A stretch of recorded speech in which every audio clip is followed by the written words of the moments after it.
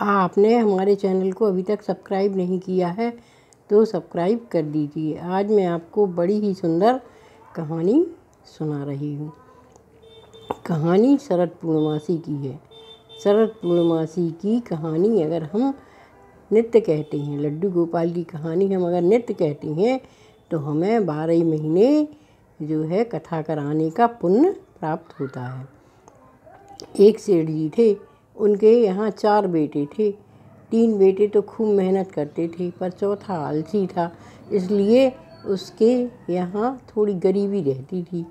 अब वो चौथी पत्नी जो चौथी बहू थी, वह बहुत दुखी रहती थी, क्योंकि उसका पति बहुत आलसी था, बहुत कम कमाता था। अब तीन बहुएँ तो बड़ी सुखी थीं और उनका घर परिवार भी अच्छा था। वो मायके से भी खूब संपन्न थीं और चौथी बहू का मायका था ही नहीं। उसके माँ बाप मर गए थे। किसी तरह मामा ने उसकी शादी कर दी थी। इसीलिए उसका पति उसको आलसी ही मिला था। वह बहुत दुखी रहती। अब शरद पूर्णमासी का दिन आया। शरद पूर्णमासी के दिन सब बहुओं ने अपने अपने लड्डू बना लिए। उनके मायके से खूब जेवर और जो है कपड़े आए। उन्होंने अच्छे सुंदर सुंदर कपड़े और गहने पहन लिए। अब बहू के पास कुछ भी नहीं था। बहू दौड़ी दौड़ी सास के पास गई और कहने लगी कि हमारे लिए डेढ़ पाव खोआ डेढ़ पाव शक्कर लिया दो तो हम सत्यनारायण भगवान की पूजा कर लें। सास ने खूब बातें सुनाई।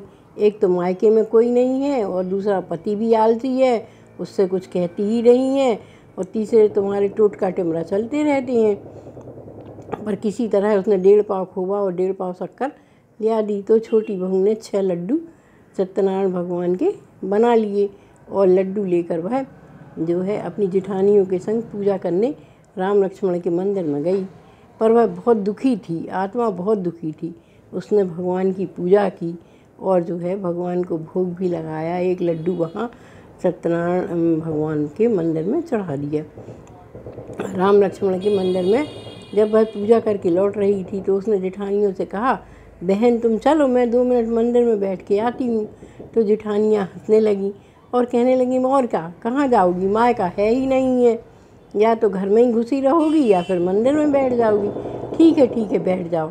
हम लोग जाते हैं। तो उसकी जिठानियाँ चली गई। बहू बहुत दुखी थी, वह बैठ गई। वहीं एक पीपल का पेड़ था, वहाँ जाकर वह रोने लगी। उस पीपल के पेड़ में एक बामी थी तो सांप के ऊपर गरम गरम आँसू गिरे तो सांप ने कहा, देखो, कोई दुखियारन रो रही है। तो वह निकल के बिल से बाहर आया, पर उसको तो ध्यान ही नहीं था कि कौन आया, कौन गया। वह तो रो रही थी, रो रही थी और बार बार भगवान से कह रही थी, भगवान, आपने मुझे पति भी ऐसा दिया जो आलसी है और जो है मेरे मायके में तो कोई है ही नहीं। है ना? मामा मामी हैं, वो कौन सुनते हैं? वह रो रही थी। तो वो सांप निकल कर आया और ब्राह्मण का भेष धर कर बोला, बहन, क्यों रो रही हो? तो वह और ज़ोर ज़ोर से रोने लगी। तो उसने कहा, अरे बहन, तुम कारण तो बताओ रोने का। तो वह कहने लगी, यही तो मेरे रोने का कारण है कि मेरे मायके में कोई नहीं है। मेरे माँ बाप बचपन में ही ख़त्म हो गए। मामा ने पाला पोसा और एक आलसी लड़के से मेरी शादी कर दी, जो कुछ कमाता ही नहीं है। इसलिए मेरे घर में सब लोग मुझे बहुत ही बातें सुनाते रहते हैं, बहुत ही कष्ट देते हैं। किसी तरह से हम अपना गुजारा कर रहे हैं। मेरा कोई भाई नहीं है।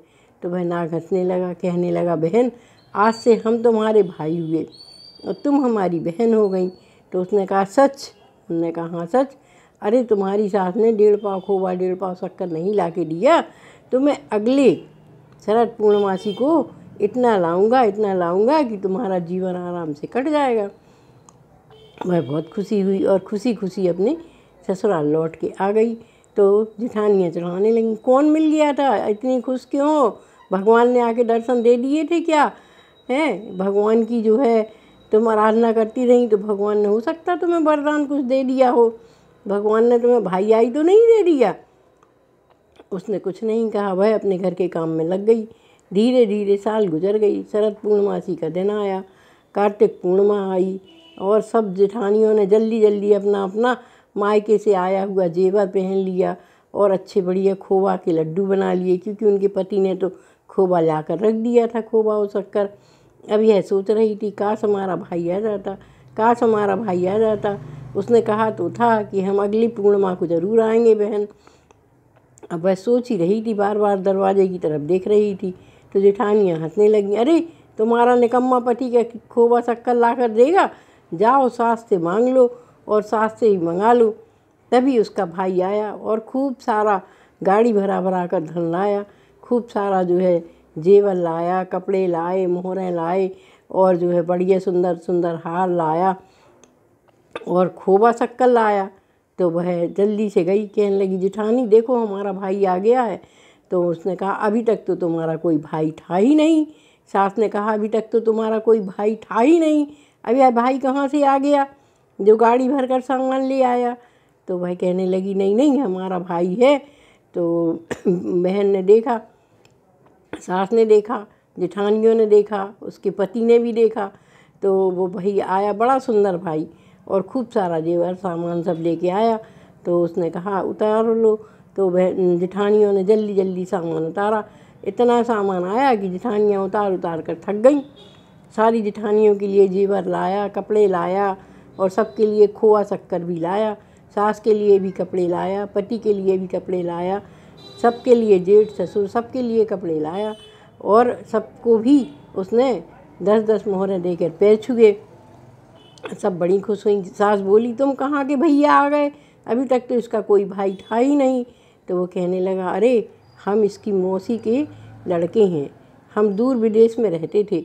अभी हम आए तो हमें मामा ने बताया कि तुम्हारी बहन की शादी हमने फला फला गाँव में कर दी है। तो हम सीधे चले आए। आज शरद पूर्णमासी का दिन है ना? आज तो सब बहनें अपने अपने लड्डुओं की पूजा करती हैं। तो हम भी अपनी बहन के लिए सब कुछ लेके आ गए। बहन बहुत खुश हुई। उसने तुरंत जल्दी से जाकर जो है खोवा शक्कर से लड्डू बनाए और उसके छह पेड़े किए। एक जो है भगवान के मंदिर में चढ़ाने के लिए, एक तुलसी के लिए, एक पति के लिए, एक के चाहिए छः भाग तुलसी तुलसी की क्यारी गर्बीली नार चलते फिरते बालक, गऊ और गऊ के ग्वाल छः भाग किए। और एक अपने लिए, एक पति के लिए, एक सहेलियों के लिए। ना मिले तो तुलसी से ही बदल लेना चाहिए। इस तरह उसने छः छः जल्दी से पेड़े बनाए और जाकर सबसे महँगी साड़ी पहन ली। सब जिठानियों से सुंदर साड़ी थी उसकी और नौलखा हार, अच्छे बढ़िया जेवर पहन के वह सर धज के और जब जिठानी के संग खड़ी हो गई तो जिठानियों ने कहा, चलो भाई, अपन पूजा करके आते हैं। और वह सत्यनारायण के भगवान की पूजा करने गई और उसने उस मंदिर में बैठ के पूजा की और जेठानियों से कहा कि बहन तुम चलो, हम अभी आते हैं। भगवान से थोड़ी सी प्रार्थना करके आते हैं। तो बहनें चली गई। वह बामी के पास गई। उसने शुद्ध घी का दीपक जलाया, भाई को बुलाया, हे नाग देवता, आ जाओ। आपने हमारी जैसी लाज रखी। हे प्रभु, इस तरह सबकी लाज रखना। नाग देवता आ गए और उन, उसने उनको दूध पिलाया। दूध पिला के उनकी पूजा की, आरती की और कहा, बहन, भाई, आप हमेशा हमारे लिए जो है शरद पूर्णमासी के दिन खोवा और शक्कर लेकर ही आ जाया करो। भाई ने कहा, बहन, तुम चिंता नहीं करो, मैं हर त्योहारों पर आऊँगा और वह रक्षाबंधन पर और जो है दीपावली, होली, टीका लगाने आने लगे और शरद पूर्णमासी के दिन तो वो खूब सारा जेवर सामान सब लेकर अपनी बहन को लड्डुओं की पूजा कराने आते। भगवान सबको ऐसे भाई दें और हमें सत्यनारायण स्वामी बाबा की पूजा करके और रोज़ कहानी तुलसी के पेड़ के नीचे कहना चाहिए। नहा धोकर सत्यनारायण भगवान की कहानी नित्य कहें, कोई भी कहानी कहें, एक कहानी रोज़ कहना चाहिए। राम लक्ष्मण के लड्डुओं की तो जितनी, जितना पुण्य हम बारह ही महीने सत्यनारायण भगवान की कथा करवाते हैं, पूर्णमासी को उतना ही फल रोज़ की कहानी कहने से हमें प्राप्त हो जाता है। सत्यनारायण के भगवान की पूजा कार्तिक मास की शरद पूर्णमासी के दिन की जाती है। उस दिन हमें लड्डुओं की पूजा अवश्य ही करना चाहिए। जो भी हो, हमें भगवान के लिए डेढ़ पाव खोवा, डेढ़ पाव शक्कर मंगाकर कोई खर्चा नहीं है और पूजा करना चाहिए, उस दिन व्रत करना चाहिए। तो भगवान, सत्यनारायण भगवान सभी मनोकामनाओं को पूर्ण करते हैं। जैसे भैया उसको मिला, ऐसा ही सबको प्राप्त हो। बोलो, सत्यनारायण स्वामी बाबा महाराज की जय।